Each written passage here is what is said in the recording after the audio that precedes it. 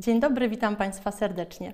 O tym, czym jest myślenie wizualne oraz dlaczego i w jaki sposób wykorzystywać je na lekcjach języka polskiego, mówiłam podczas ostatniego webinaru. Z kolei temat dzisiaj, naszego dzisiejszego spotkania brzmi wizualnie, niebanalnie, formy wizualizacji na lekcjach języka polskiego. Tym razem spróbuję przekonać Państwa do tego, że e, praca z myśleniem wizualnym nie musi oznaczać szablonowego podejścia do edukacji. Jak będzie wyglądał porządek naszego dzisiejszego spotkania? Najpierw opowiem o różnych formach myślenia wizualnego, które można z powodzeniem wykorzystywać na lekcji, bo okazuje się, że są to nie tylko graficzne karty pracy, a następnie e, przedstawię Państwu garść pomysłów na to, w jaki sposób ten, e, sposób ten szeroki wachlarz możliwości wykorzystać na lekcjach języka polskiego, realizując różne treści podstawy programowej, czyli pokażę różne wizualne sposoby na lektury, następnie opowiem, w jaki sposób wykorzystuję myślografię w nauce, utrwalaniu, przyswajaniu środków stylistycznych. Powiem też e, o tym, jak można włączyć wizualizację w naukę tworzenia wypowiedzi oraz o tym, jak wykorzystuję myślenie wizualne do pracy przy e, nauce kształcenia językowego. Zaczynamy w takim razie. Stosowanie myślenia wizualnego nadaje sens komunikatom i informacjom, które nadajemy lub też odbieramy. W edukacji ma to ogromny wpływ na efektywność nauki i pracy. Dlatego też myślenie wizualne staje się ogromną pomocą przede wszystkim dla uczniów, ale także dla rodziców oraz dla nauczycieli. Pod jednym warunkiem, pod warunkiem, że tę pracę z myśleniem wizualnym zaplanujemy w sposób mądry i przemyślany. Przede wszystkim należy wziąć pod uwagę fakt, że mm, nie powinniśmy ograniczać naszej pracy na lekcji tylko i wyłącznie do graficznych kart pracy uprzednio przygotowanych przez nauczyciela. Oczywiście takie formy też są bardzo potrzebne i dzisiaj o nich powiem, ale gdybyśmy tylko do tego ograniczali naszą pracę z myślografią na lekcji, to tak naprawdę takie lekcje po pewnym czasie stają się przede wszystkim dla uczniów mało atrakcyjne, nudne, e, a poza tym pozbawiamy też możliwości wówczas zdobycia różnych innych umiejętności i kompetencji przez nasze dzieci, przez uczniów. Więc taka forma pracy oczywiście oczywiście jest potrzebna, ale jest to tylko niewielki wycinek możliwości, jaką daje myślenie wizualne. Tutaj, jeżeli chcemy, aby nasze lekcje były atrakcyjne, musimy postawić na różnorodność. No i jak wygląda ta różnorodność? Myślenie wizualne to oczywiście graficzne karty pracy, ale to również kolaże i plakaty różnego rodzaju, które mogą być przygotowywane przez uczniów, albo możemy skorzystać z gotowych plakatów, z których odczytywać różne elementy będą nasi uczniowie. Są to komiksy, które również uczniowie mogą przygotować, o czym dzisiaj um, powiem. Jest to również kodowanie, które z powodzeniem możemy wykorzystywać na lekcjach. Myślenie wizualne to również makiety różnego rodzaju przygotowywane przez uczniów, formy 3D, czyli pewne namacalne materiały, kukiełki, no różne twory, puzzle, które też z powodzeniem mogą tutaj posłużyć nam jako materiał edukacyjny, ikony, mapy myśli, ale też innowacje, bo z powodzeniem możemy myślenie wizualne włączać do różnych innowacyjnych działań na lekcji. Jest to więc bardzo szeroki wachlarz możliwości. Tylko pytanie brzmi, jak ten szeroki wachlarz możliwości wykorzystać, analizując różne treści podstawy programowej. Teraz zapraszam Państwa do swojego świata, pokażę w jaki sposób ja wykorzystuję ten, to szerokie spektrum, przygotowując lekcje dla moich uczniów. Zaczniemy od, y, mm, tak, stop szabloną, myślenie wizualne, a realizacja treści podstawy programowej na lekcjach języka polskiego. Zaczniemy od sposobów na lektury, wizualnych sposobów na lektury, ponieważ bardzo często włączam właśnie wizualizację w proces e, omówienia i utrwalania znajomości lektur, szczególnie tych tekstów obowiązkowych, by obraz wspomagał treść, myślenie wizualne a lektury. No właśnie, zacznę od kart pracy, o których e, już mówiłam. Oczywiście ja korzystam z nich również. Również korzystam bardzo często, ale w tym przypadku, gdy decydujemy się na graficzną kartę pracy, musimy mieć na uwadze jedną myśl. Taka karta powinna być drogą do celu, a nie celem. O co tutaj chodzi? Planując pracę z graficznymi kartami pracy przygotowanymi przez nauczyciela, trzeba mieć na, mieć na uwadze, że to ma być pewien etap prowadzący do jakiegoś głębszego celu. Jeżeli skupimy się na tym, że nasza lekcja będzie wyglądała w ten sposób, że uczeń właściwie skupi się tylko i wyłącznie na uzupełnianiu e, takiej karty, na zasadzie wpisywania wyrwanych z kontekstu wyrazów, e, czy na zasadzie od, odpowiedzi na konkretne pytania, to tak naprawdę nie przyniesie to wymiernych korzyści korzyści i nie osiągniemy tego, o co tak naprawdę nam chodzi. Karta, graficzna karta pracy, jeżeli z niej korzystamy, ona powinna być pewną bazą prowadzącą do jakiegoś głębszego, ogólnego celu. Ona może być bazą na przykład do redagowania charakterystyki postaci, jeśli karta dotyczy konkretnej, konkretnego bohatera. Po y, jej wypełnieniu uczniowie na przykład mogą y, napisać charakterystykę. Może być bazą do odtworzenia treści utworu, czyli przygotowania streszczenia lub planu wydarzeń, zredagowania wypowiedzi ustnej, na konkretny temat, czy czytania ze zrozumieniem. E, od kilku tygodni na stronie Nowej Ery, na portalu Nowej Ery dla nauczyciela mogą Państwo korzystać z graficznych kart pracy do Pana Tadeusza. I tam e, między innymi można e, pobrać 14 arkuszy krok po kroku do każdej księgi. 14, ponieważ pierwsza i dziesiąta księga zostały przedstawione na dwóch arkuszach, natomiast kolejne na jednym. No i często Państwo pytają, w jaki sposób wykorzystać te ten materiał do pracy na, na, lekcji. No przecież nie o to tutaj chodzi też, żebyśmy te 14 e, arkuszy skserowali, powielili razy ilość uczniów w, w naszej klasie i każdemu uczniowi tak naprawdę zlecili wykonanie, uzupełnienie tych kart, dlatego że większość uczniów e, po prostu się zniechęci na samym początku.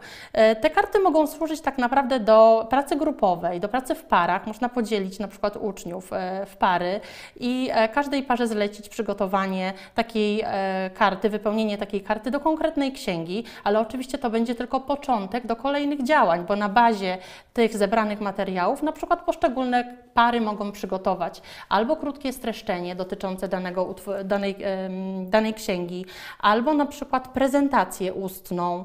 E, możemy sobie tak zorganizować tak naprawdę kolejne lekcje, tak? czyli uczniowie, poszczególne pary prezentują efekty swojej pracy. Mm, będzie to dobry wstęp na przykład do pracy e, z tą lekturą. Więc e, graficzne karty pracy, jeszcze raz, one włączamy je w przebieg lekcji, tak? ale one mają po prostu czemuś służyć, mają e, mieć, prowadzić do pewnego głębszego mm, celu. Klasowy projekt Wspólnie tworzymy e, komiks. To jest kolejny sposób na to, w jaki sposób wykorzystać myślenie wizualne mm, do lekcji dotyczącej znajomości lektur. Można zaproponować uczniom tutaj stworzenie wspólnego komiksu. Ja w ten sposób omówiłam na przykład e, z uczniami klasy siódmej balladę Świtezianka Adama Mickiewicza. Wyglądało to w ten sposób, że zanim przeszliśmy do omówienia utworu, e, uczniowie mm, przeczytaliśmy cały tekst i bez bez jakiejkolwiek refleksji, bez jakiegokolwiek wstępu podzieliłam, przydzieliłam każdemu uczniowi fragment y, tego utworu. W ten sposób, że właściwie cała ballada we fragmentach została przydzielona konkretnym uczniom. I polecenie dla uczniów brzmiało w ten sposób, żeby e, przygotować na arkuszu A4 taką wizualną wersję tego, co w tym fragmencie zostało przedstawione. Tak jakby mieli stworzyć jedno okienko komiksowe, czyli uczniowie mieli zwizualizować to, co dany fragment przedstawia, oraz do, e, tej, do tego okienka dopisać, e, umieścić odpowiednie dymki komiksowe w postaci tekstu, cytatu e, wypowiadanego przez danego bohatera, jeśli takowy cytat się pojawił, albo, albo na przykład takiego dymku dotyczącego mm, kwestii wypowiadanych przez narratora. No, ustaliliśmy wspólne dla wszystkich kryteria, ponieważ docelowo miała to być spójna, jednolita praca, więc te kryteria wyglądały w ten sposób. U strzelca strzelec miał mieć zielony mundur, świtezianka miała mieć ciemne włosy, mm, kwiatki, kwiaty, wianek na głowie i białą szatę, tak żeby jakby po zebraniu tego materiału, bo gdy termin e, mm, odesłania prac upłynął, to wszystko wrzuciliśmy mm, w jedną prezentację. Te okienka oczywiście zostały uporządkowane w sposób chronologiczny, no i był to dobry sposób tak naprawdę na aktywizację wszystkich uczniów i na takie wprowadzenie do omówienia lektury, bo nie dość, że wszystkie fragmenty zostały zwizualizowane, odczytaliśmy jeszcze raz fragmenty, każdy uczeń odczytywał swój fragment przygotowany e, przez siebie, no i tak naprawdę e, no, nie było ucznia, który nie znałby treści utworu. Oczywiście to tak naprawdę był wstęp, to była baza do kolejnych działań, bo na podstawie tych okienek komiksowych uczniowie tworzyli plan wydarzeń. Więc jest to bardzo dobry sposób na to, żeby oswoić ucznia z lekturą, której nie zna, ale też zaangażować tak naprawdę wszystkie dzieci do pracy na lekcji. W, podobny sposób można zaplanować pracę na przykład nad e, dramatem Mickiewicza Dziady, część druga, e, nad Żoną Modną, Redutą Ordona, czyli nad takimi utworami, które są krótkie i e, w łatwy sposób można podzielić je fragmentowo po prostu i przydzielić konkretny fragment danym, danemu uczniowi. A propos dziadów, o których przed chwileczką wspomniałam, można, wykorzystując znajomość utworu, e, nie tylko rozbudzić kreatywność uczniów, ale też jakby połączyć zagadnienia, problematykę dziadów z takimi zagadnieniami aktualnymi, e, aktualnymi tak naprawdę bliskimi każdemu człowiekowi. I mając na uwadze taki cel, przygotowałam dla uczniów taki projekt, e, na, łamach, na bazie którego mieli przygotować ducha zagrożeń współczesnego świata. Jak taka lekcja wyglądała? Ona już się odbyła w momencie, gdy omówiliśmy cały dramat, czyli uczniowie znali dramat e, Dziady, część druga. No i zaczęliśmy tak naprawdę lekcję od obejrzenia filmów, memów, ilustracji przedstawiających jakieś takie problemy związane ze współczesnym światem, tak? czyli aktualne nam problemy, problem hejtu, problem zanieczyszczenia środowiska, problem cyfryzacji, wpływu rozwoju techniki na człowieka. No i tak naprawdę te obrazy skłoniły nas do pewnych refleksji na temat tego, z jakimi problemami musi się mierzyć współczesny człowiek. Uczniowie podawali swoje e, przykłady. Następnie stworzyliśmy sobie taką listę grzechów popełnianych przez współczesnego człowieka. No i to był tak naprawdę dopiero to była baza do zadania, które przed uczniami postawiłam. A to zadanie polegało na tym, żeby wyobrazić sobie, że obrzęd dziadów jest odprawiany dziś aktualnie i zaprojektować postać e, ducha, który byłby właśnie odzwierciedleniem jakiegoś konkretnego problemu, z, którymi mierzy się, z, z którym mierzy się współczesny człowiek. Mm, żeby ułatwić uczniom pracę, ja przygotowałam tutaj taką kartę pracy graficzną, ale spokojnie można z niej zrezygnować tak naprawdę i wypunktować tylko kryteria sukcesu dla uczniów. Na tej karcie te kryteria sukcesu się znajdują. Trzeba było, trzeba było wymyślić nazwę ducha, podać konkretną kategorię, związaną też z kategoriami, które pojawiają się e, podczas obrzędu dziadów w dramacie Adama Mickiewicza. Sposób przywoływania, wygląd, historię życia, popełnione grzechy, karę, prośbę, pouczenie, wnioski, czyli jakie, do jakich refleksji mógłby skłonić, mogłaby skłonić historia tego ducha. No oczywiście wykonać ilustrację. Mm, no i gdy uczniowie wykonali swoje zadanie, czyli termin upłynął, to kolejną lekcję rozpoczęliśmy od prezentacji. Każdy uczeń zaprezentował tak naprawdę swoją projekcję, swój projekt, omówił go, no i później w ramach podsumowania stworzyliśmy sobie taki, tak, taką, taki zestaw wskazówek na temat tego, w jaki sposób żyć, żeby ochronić w sobie człowieka, ocalić świat tak naprawdę przed, e, przed konsekwencjami naszych grzechów. To zadanie być może wydaje się banalne, ale tak naprawdę dało wiele możliwości, usprawniało wiele różnych e, umiejętności, bo po pierwsze trzeba było odwoływać się mimo wszystko do dramatu Adama Mickiewicza, trzeba było wiedzieć na czym wygląda, na czym polega, jak przebiega obrzęd dziadów. Następnie e, no, wyzwala to zadanie kreatywność uczniów oczywiście, no i też e, pozwala połączyć taką problematykę e, tego utworu z problematyką aktualną, z problemami aktualnymi. Mm, można oczywiście pójść dalej, bo można by było spokojnie na bazie tego projektu poprosić uczniów na przykład o stworzenie scenariusza filmowego, mm, czy stworzenie kolejnego aktu tak naprawdę dziadów. No, możliwości jest tak naprawdę sporo, ogranicza nas tylko nasza wyobraźnia. Teraz przedstawię Państwu kilka, e, kilka moich propozycji na to, w jaki sposób można włączyć wizualizację w proces utrwalania znajomości e, lektur przed egzaminem ósmoklasisty. E, tutaj jest taki pomysł na torby z ikonami.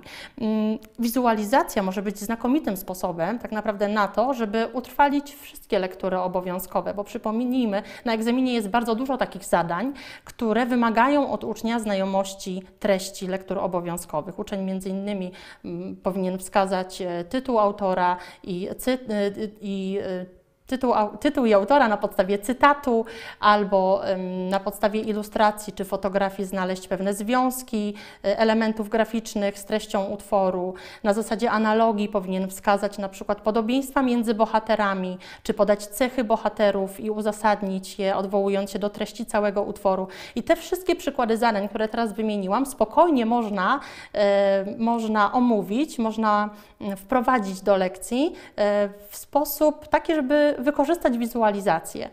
No i tutaj do tego pierwszego pomysłu, tak naprawdę y, inspiracją do tego pierwszego pomysłu było zadanie 12, które pojawiło się na egzaminie ósmoklasisty w 2020 roku.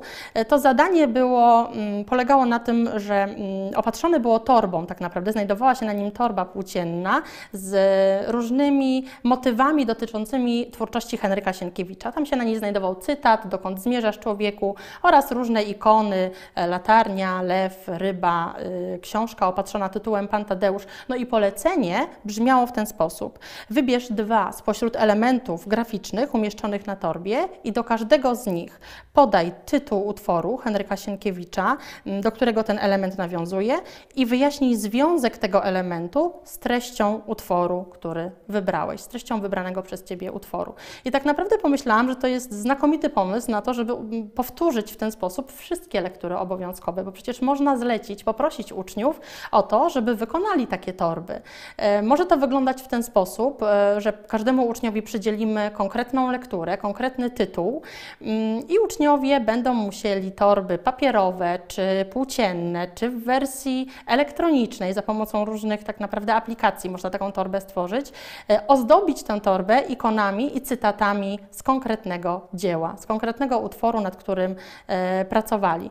No i oczywiście to może być początek do kolejnej lekcji, bo kolejną lekcję możemy zaplanować w ten sposób, że każdy przyniesie przygotowany przez Ciebie materiał, pozostali uczniowie uczniowie mogą rozpoznawać, e, jaki utwór został przedstawiony na tej torbie, e, uzasadniać, odwołując się do tych cytatów, które się tam znajdują, czy do ilustracji, do ikon, które, mm, które na tych torbach również zostaną narysowane, czy pobrane przez ucznia za pośrednictwem różnych stron internetowych. Tutaj na slajdzie po e, prawej stronie, w prawym dolnym rogu, znajduje się strona, mm, z której korzystałam i korzystam zresztą bardzo często często moi uczniowie też z niej korzystają, gdy planujemy pracę z wizualizacją, z myśleniem wizualnym.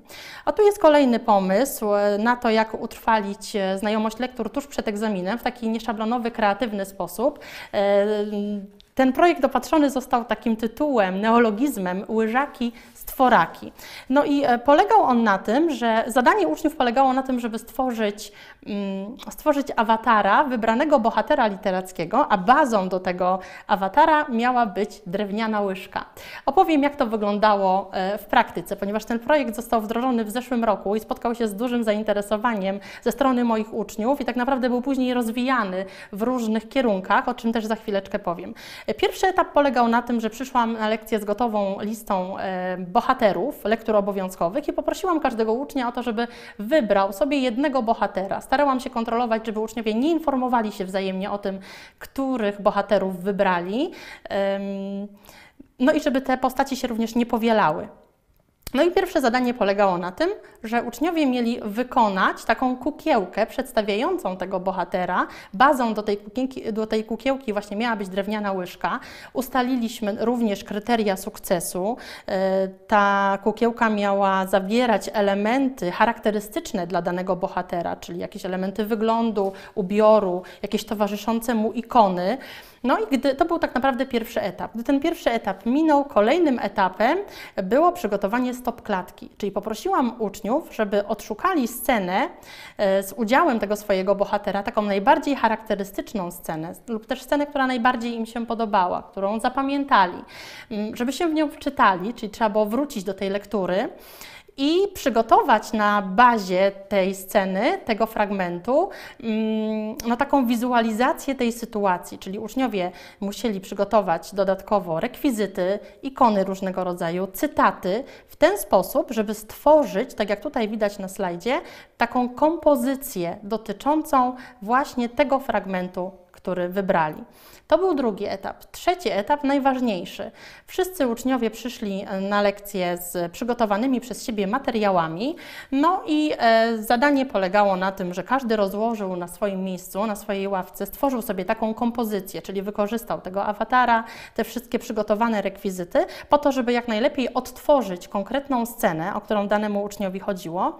No i tak naprawdę wędrowaliśmy sobie e, od ławeczki do ławeczki, pozostali uczniowie próbowali odszyfrować, jaki bohater został tutaj przedstawiony, która scena została zaprezentowana. Uzasadniali, oczywiście odwołując się do tego, co widzą oraz do treści utworu. E, zadawaliśmy dodatkowe pytania. Przeznaczyliśmy na to tak naprawdę kolejne dwie jednostki lekcyjne, ale to nie był czas stracony, ponieważ to był no, sposób naprawdę taki niebanalny na powtórzenie wszystkich lektur obowiązkowych tuż przed egzaminem ósmoklasisty. Tu jest przykład, bo tutaj właśnie zaprezentuję Państwu e, kilka prac, prac przygotowanych przez moje dzieci.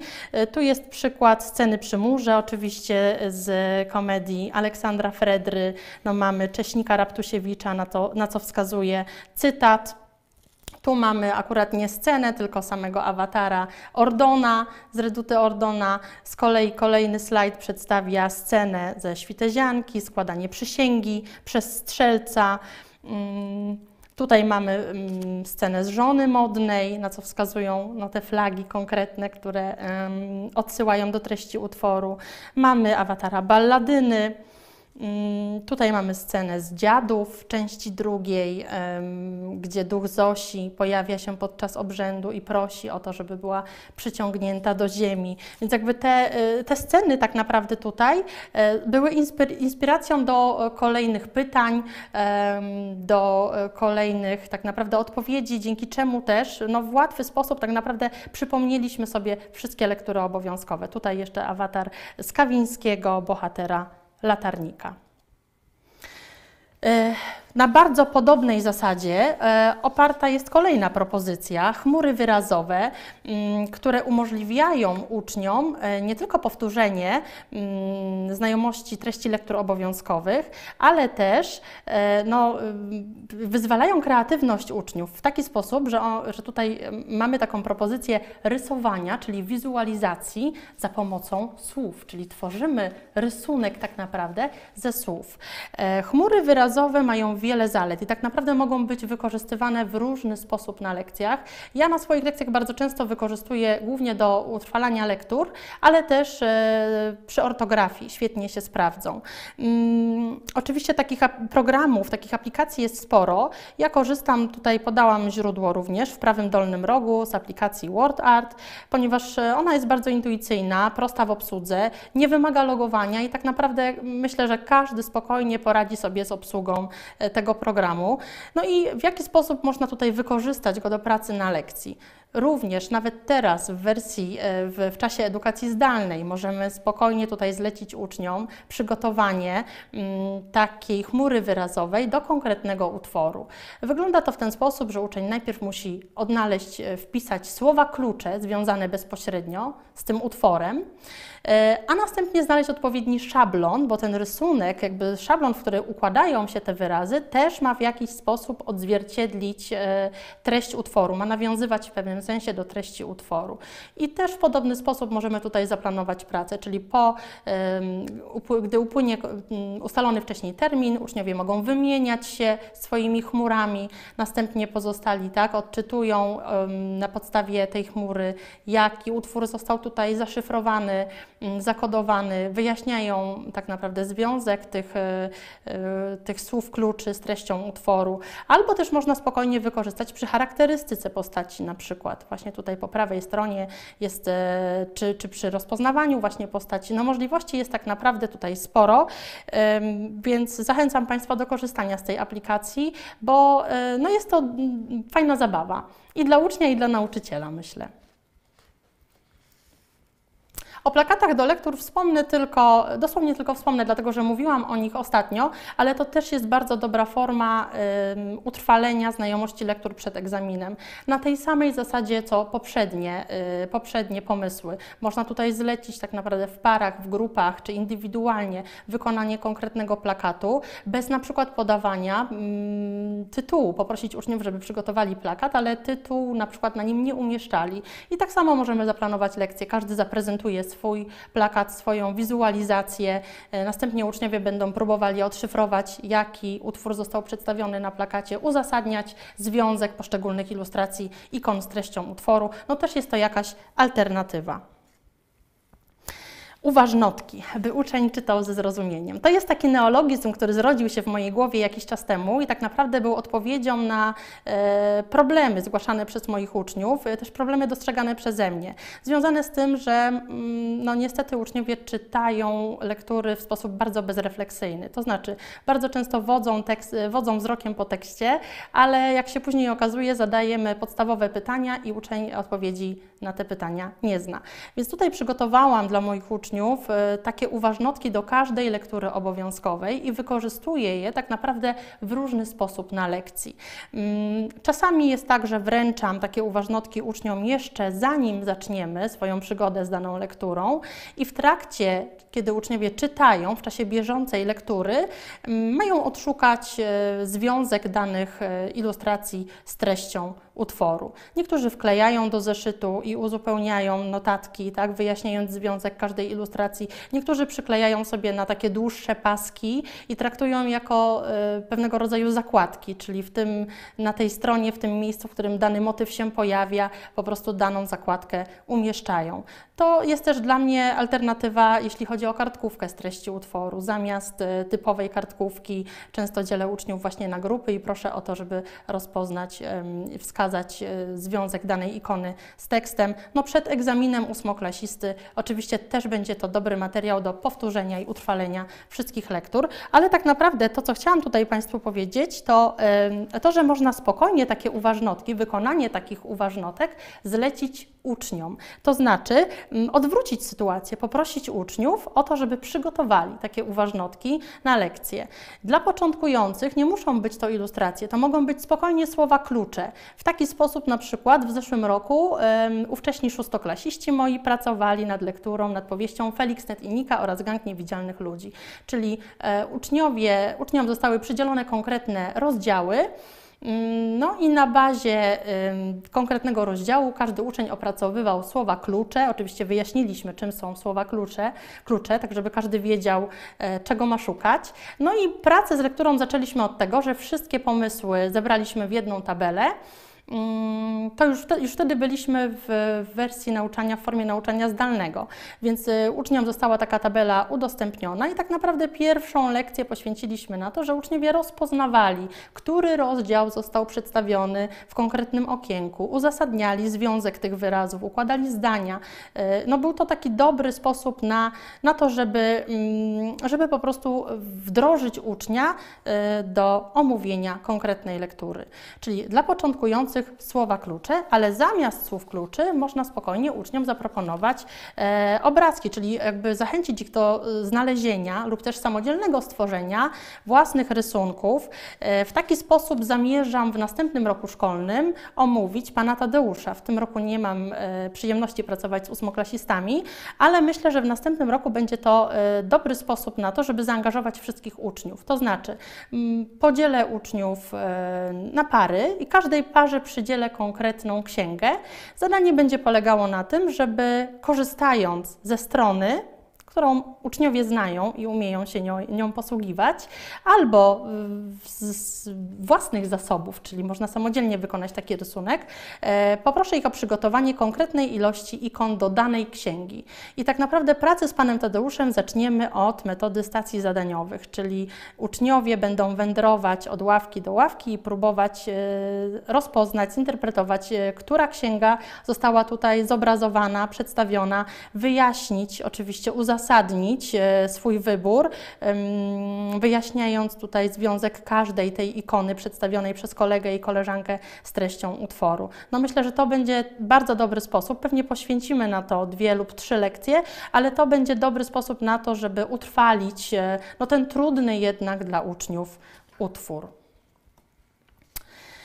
Projekt Leksykon Bohaterów Literackich. Jeśli nic się nie zmieni e, w tym zakresie, no to niestety w kolejnym roku szkolnym siódmoklasistów czeka wyzwanie, ponieważ będą musieli zmierzyć się ze znowelizowaną formułą egzaminu. Nie tylko dojdzie im dodatkowy przedmiot, ale jeśli chodzi o język polski, to, tych lista, to ta lista lektur obowiązkowych wydłuży się niestety o te pozycje z klas 4-6.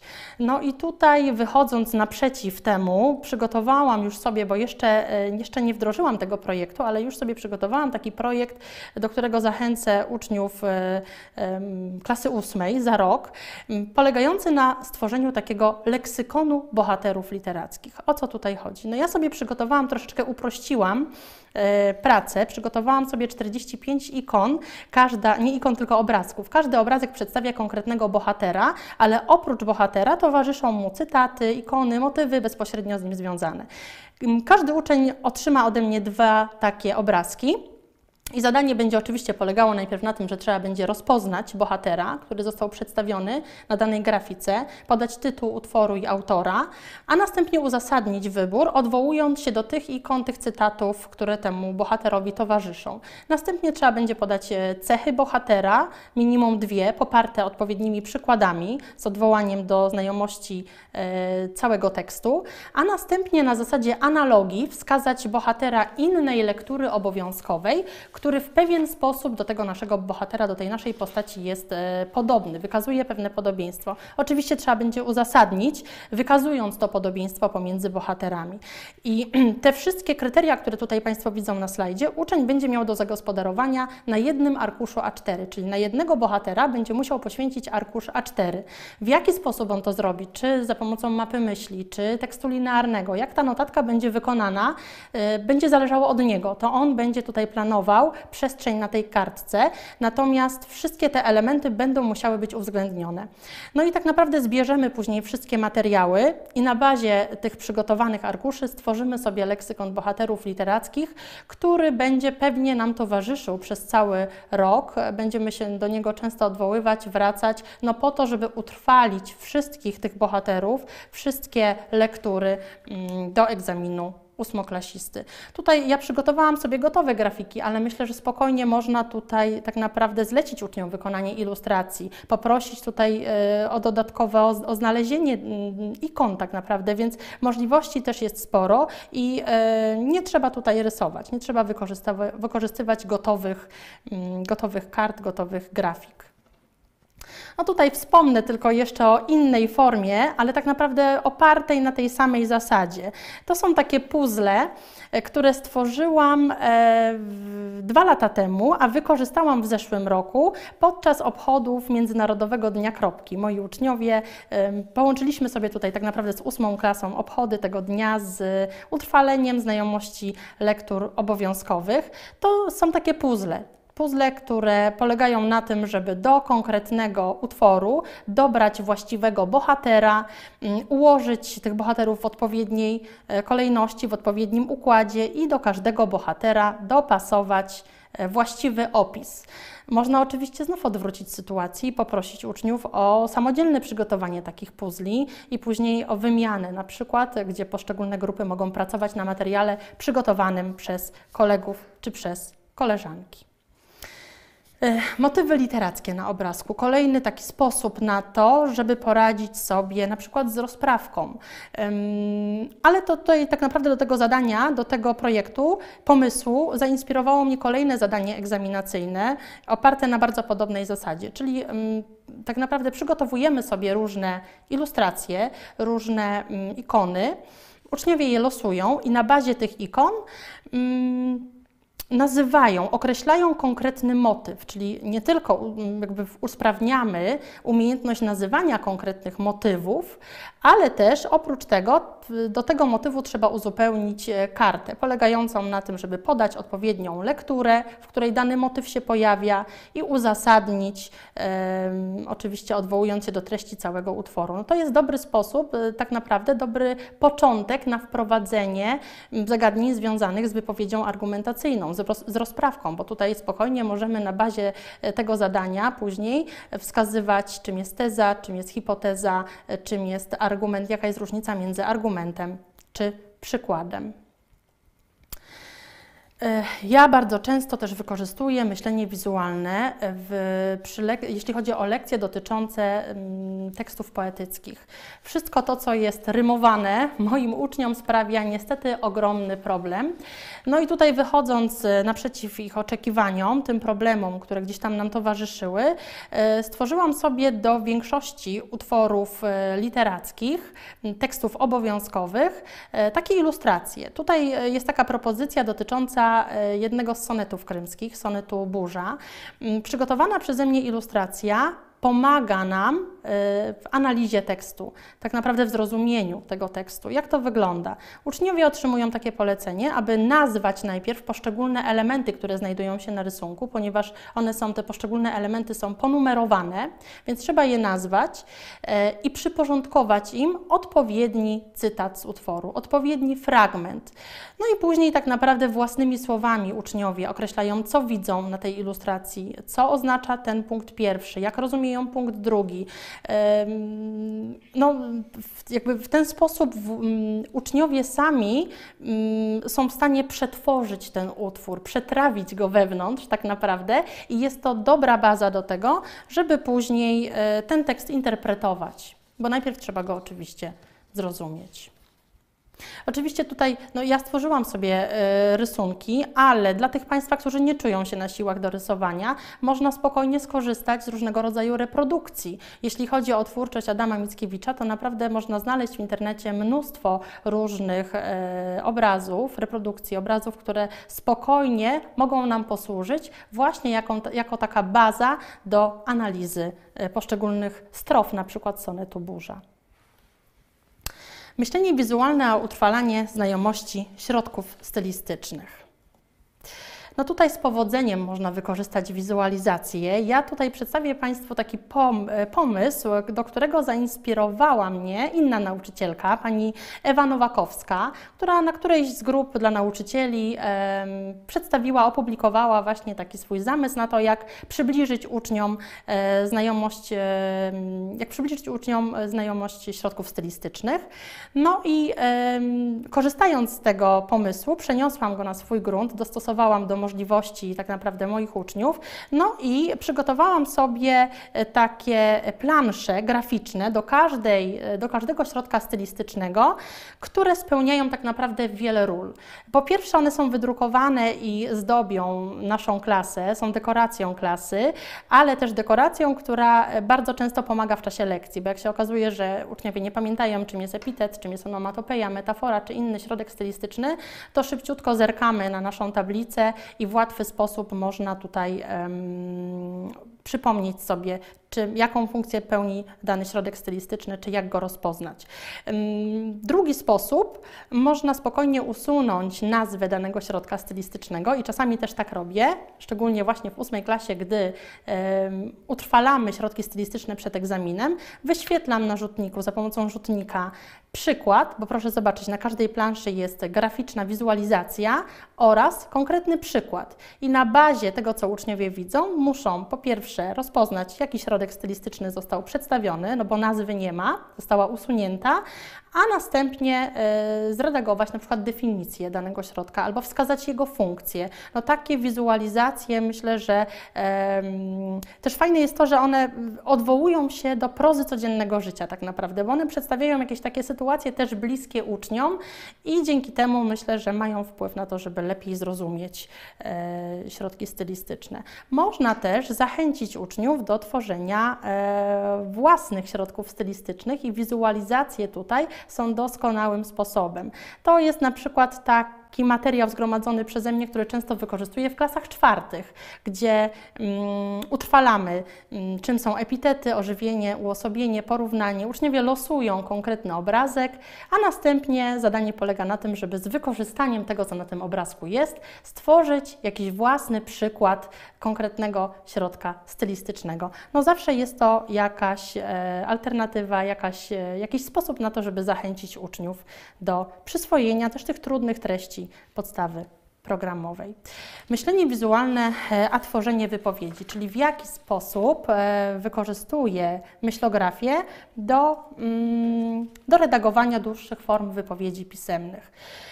Tutaj kolejny, e, kolejny arkusz, mm, o którym chcę powiedzieć, to również jest arkusz, który jest jakby odpowiedzią na oczekiwania i problemy, z którymi borykają się moi uczniowie, którzy niestety nie, mieją, nie mają umiejętności koncentracji uwagi. To znaczy, w momencie, gdy zerkają do zeszytu i redagują coś w zeszycie, to nie umieją się oderwać na przykład na chwilę, żeby zerknąć do podręcznika i sprawdzić, e, mm, nie wiem, jakieś, czy zrealizowali jakieś konkretne kryterium.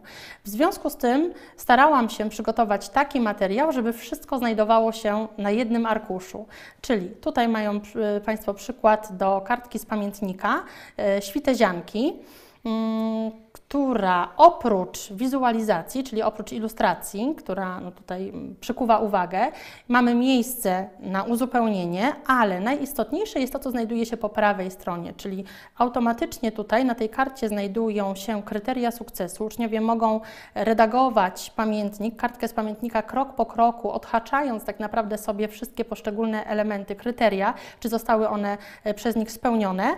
No i mamy bank przydatnych słów, więc na bieżąco mogą zerkać, inspirować się i e, dzięki temu no, tak naprawdę pisać i od razu kontrolować, czy wszystkie e, elementy, czy wszystkie kryteria zostały przez nich spełnione.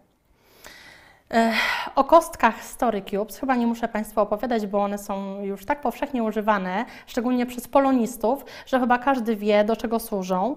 No, w skład oryginalnego zestawu wchodzi 9 kostek mm, i na lekcji można spokojnie, z powodzeniem je wykorzystać w momencie, gdy e, usprawniamy umiejętność redagowania opowiadania. Czyli uczniowie y, rzucają kośćmi, no i z tych obrazków, które uzyskali, z tych motywów mają zredagować opowiadanie, ale w taki sposób, żeby wykorzystać w pewien sposób e, te motywy. Ja zachęcam Państwa do stworzenia własnych kostek. Tutaj właśnie na slajdzie widzą Państwo zdjęcia przygotowanych przeze mnie takich kostek. Z, można do tego wykorzystać spokojnie tekturkę albo jakieś niepotrzebne sześcienne klocki. No, korzyścią jest to, że to od nas zależy, co na tych klockach się znajduje, jakie y, motywy na nich umieścimy, więc możemy w pewien sposób kontrolować to, y, co będą uczniowie tworzyć. Tutaj też taka alternatywa, turlane opowiadania, które również już są powszechnie używane na lekcjach języka polskiego, pobudzające kreatywność, ale ja przede wszystkim chciałabym tutaj Państwu e, pokazać, zachęcić do tego, że można stworzyć sobie własną planszę. Nie trzeba pobierać gotowych, e, tylko wystarczy tak naprawdę trochę wyobraźni, wystarczą zasoby strony, e, której adres widzą Państwo w prawym e, dolnym rogu i można sobie stworzyć taką bazę, taką kartę e, do usprawniania redagowania opowiadania. Jak to wygląda?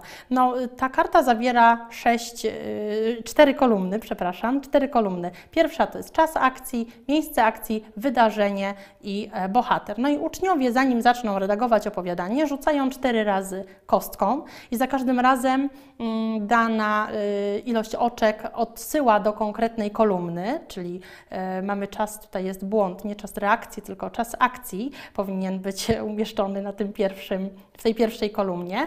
Mm, czyli pierwszy rzut odsyła do czasu akcji, drugi rzut do miejsca akcji, do wydarzenia i e, do konkretnego bohatera. I z tak zgromadzonym szablonem, czyli przypuśćmy, że uczeń na przykład otrzymuje szablon, czas jego akcji musi się toczyć w czasie zimy, e, miejscem akcji powinno być jezioro, jednym z wydarzeń powinna, powinna być kłótnia między bohaterami, a jednym z bohaterów na przykład e, powinien być duch duch. I z tak otrzymanym szablonem uczniowie redagują opowiadanie.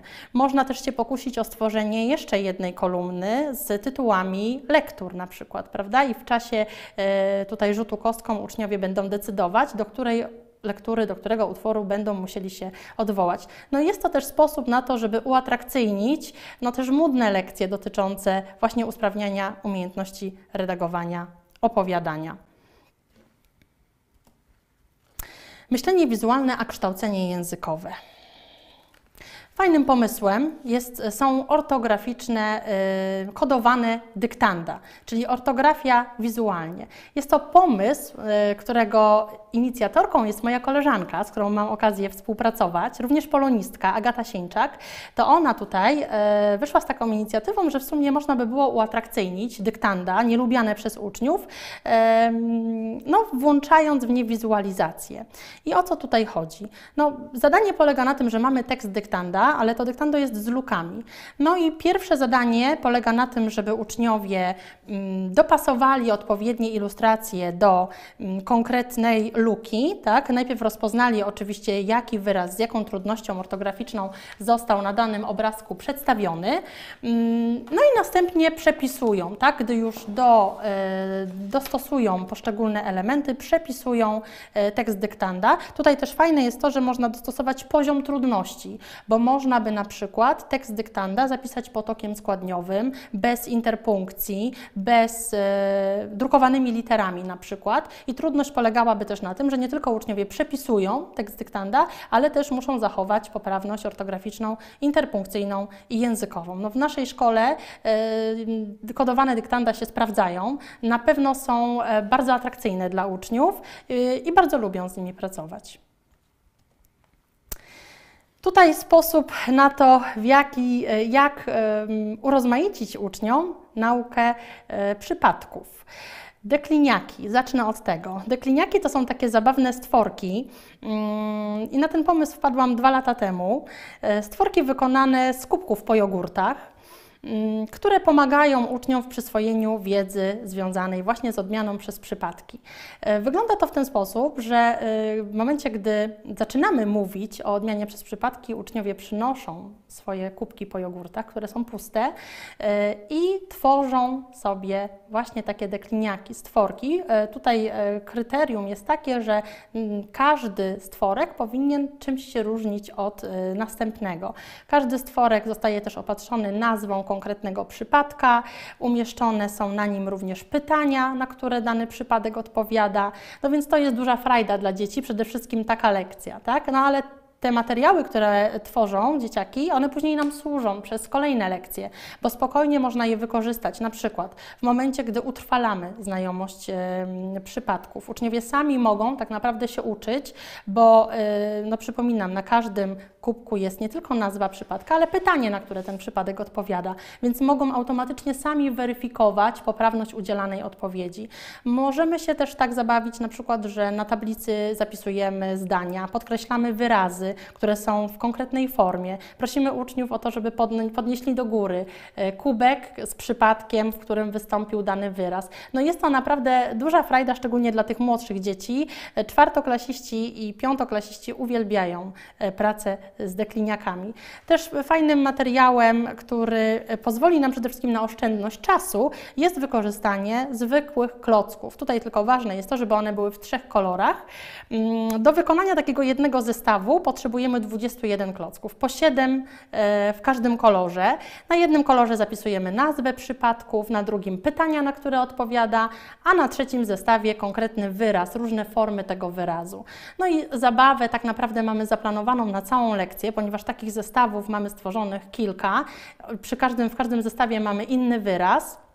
Więc uczniowie mogą się wymieniać tymi klockami. No i oczywiście cała frajda polega na tym, żeby dobrać najpierw odpowiedni przypadek, nazwę przypadka do odpowiedniego pytania a później dopasować odpowiednią formę wyrazu. No przede wszystkim plusem, korzyścią jest to, że oszczędzamy czas, bo gdy, gdybyśmy za każdym razem e, poprosili uczniów, żeby zapisywali odmianę w zeszycie, no to po pierwsze byłoby to żmudne, po drugie zajęłoby to dużo czasu. A tutaj pracując na tych zestawach w kilka, kilkanaście minut jesteśmy w stanie tak naprawdę przećwiczyć z uczniami wiele różnych przykładów, a oni właściwie nawet nie czują, że się uczą. Dla nich to jest zabawa. E, pomysł na to, w jaki sposób urozmaicić lekcje związane z fleksją i składnią, tak nielubiane przez wielu uczniów. E, jeśli chodzi o części mowy, no to mam przygotowanych też opartych na wizualizacji kilka pomocy dydaktycznych, opartych na tych samych zasadach. Puzzle, o których już wspomniałam, więc widzą Państwo pewnie e, na czym polega trudność. Trzeba po prostu dopasować odpowiednie wyrazy do odpowiedniej nazwy części mowy, ale też mamy takie stelaże, na których wieszamy koszulki, wieszamy pranie fleksyjne, my to w ten sposób nazywamy. No, trudność polega na tym, żeby mm, odpowiednią koszulkę z odpowiednim wyrazem powiesić na właściwym sznurku, bo mamy sznurki, które są czasownikami, rzeczownikami i tak.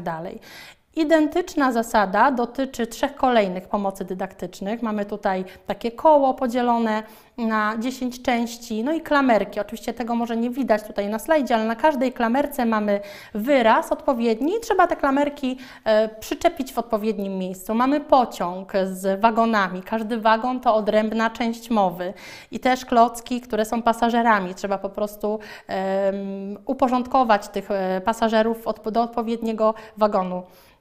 Mamy też słoiki, w których porządkujemy wyrazy zapisane na paskach. Dlaczego mówię o tych różnych, e, różnych pomocach, które są oparte na tej samej zasadzie? Dlatego, że dla mnie jako nauczyciela jest to duże ułatwienie, bo tak naprawdę e, mogę podzielić sobie uczniów na pięć odrębnych grup, a do każdej kierować to samo polecenie, bo oni mimo tego, że pracują na innym materiale, to ten materiał oparty jest na tych samych zasadach. I bardzo często e, korzystamy z tych pomocy na przykład w momencie, gdy utrwalamy już wiedzę o częściach mowy, gdy części mowy już są poznane przez uczniów. Ja tak naprawdę tutaj ograniczam się tylko i wyłącznie do wydawania poleceń. Działają uczniowie. Mogę sobie tak zaplanować lekcję, że teoretycznie 45 minut można pracować na tym materiale, bo mogę najpierw poprosić oczywiście o uporządkowanie tych wyrazów do odpowiednich kategorii. Potem mogę poprosić o to, żeby e, wśród e, czasowników wskazać e, te, które są nieosobowe, wśród przymiotników te, które odmieniają się w sposób opisowy. No możliwości jest tak naprawdę tutaj mnóstwo Mm, I wykonanie takich pomocy dydaktycznych to też nie jest, e, e, nie jest nic trudnego. Tutaj e, proszę zwrócić uwagę, że właściwie są niewielkie koszty wykonania takiej bazy i w wielu, w wykonaniu wielu pomocy dydaktycznych pomagali mi sami uczniowie, co też jest pewnym sposobem na naukę. No tutaj też kilka sposobów na e, składnie. Mm, te same zasady, czyli mamy na przykład zamiast zdań zapisywanych w zeszycie, e, uczniowie układają najpierw zdania z puzli, te wyrazy trzeba odpowiednio połączyć, a następnie nad każdym wyrazem przyczepić e, puzelek z odpowiednią nazwą części zdania można spokojnie y, opracować sobie to samo zadanie, y, tę samą pomoc, wykorzystując klamerki, tak, z zapisanymi na kartoniku zdaniami i do każdego wyrazu po prostu y, doczepiają uczniowie odpowiednią część zdania. Można się posłużyć spokojnie nakrętkami, więc tych możliwości wizualizacji tutaj jest naprawdę sporo, a lekcja naprawdę jest dla uczniów atrakcyjna.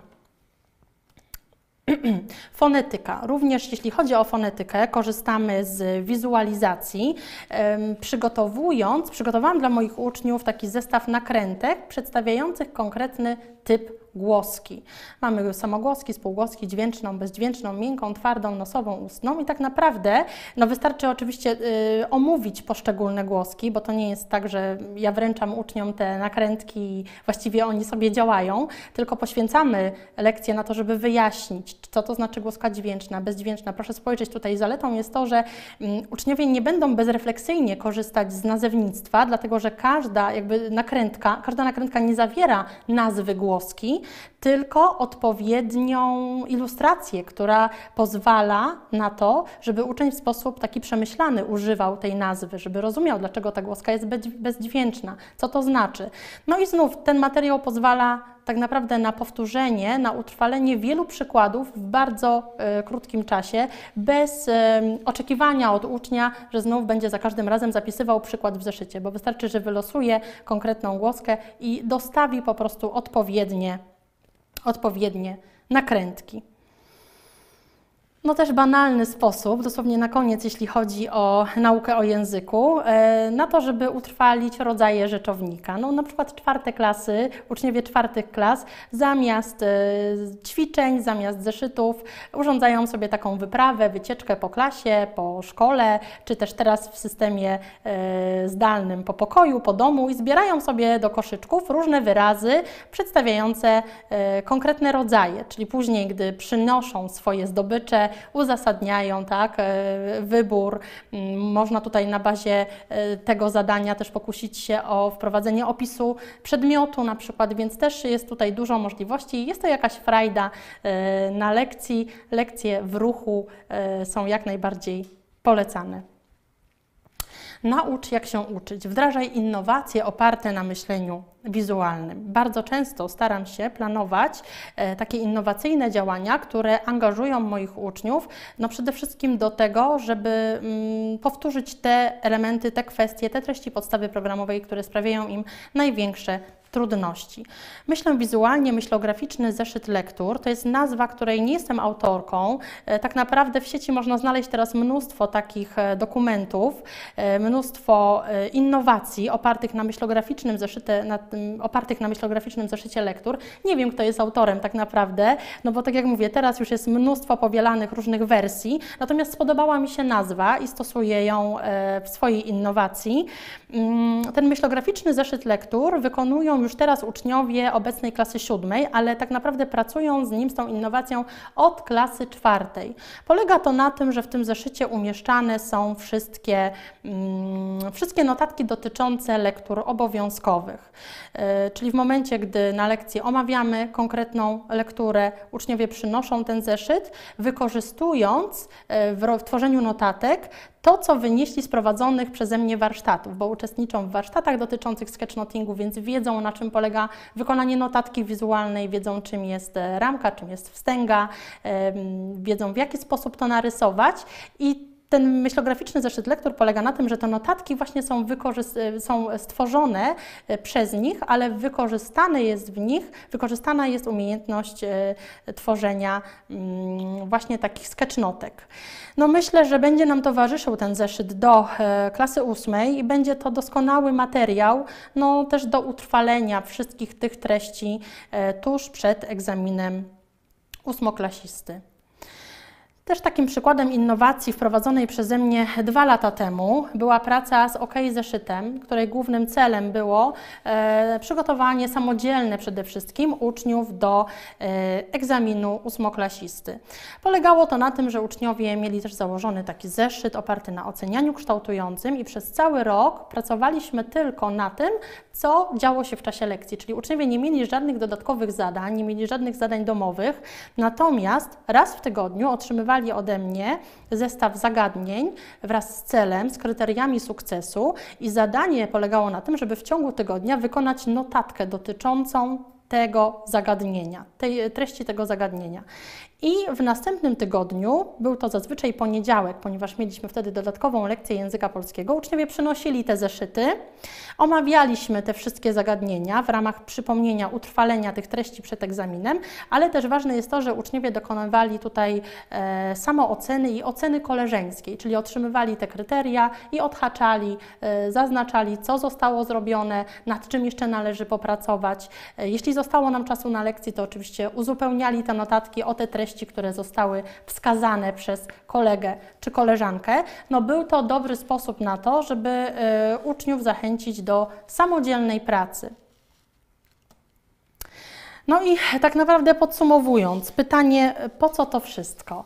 No tutaj słowem kluczem tak naprawdę jest e, efektywność. Efektywność, która polega na poszukiwaniu takich dróg, e, takich sposobów na to, żeby mm, no, uczeń osiągał coraz lepsze wyniki.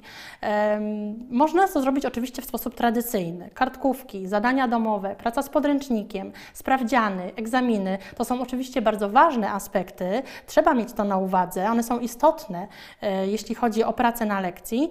Natomiast jeżeli chcemy, żeby nasze działania, nasze zajęcia były dla uczniów atrakcyjne, żeby wyzwalały kreatywność, no to trzeba poszukiwać nowych sposobów, e, nowych dróg do tego, żeby mm, zaktywizować dzieci. No, wizualizacja myślę, że jest dobrym sposobem mm, na to, żeby taką e, kreatywność w uczniach rozbudzić i żeby po prostu chętnie przychodzili na lekcje, żeby nawet w niektórych momentach nie czuli, że przyswajają jakieś treści podstawy, że oni się uczą.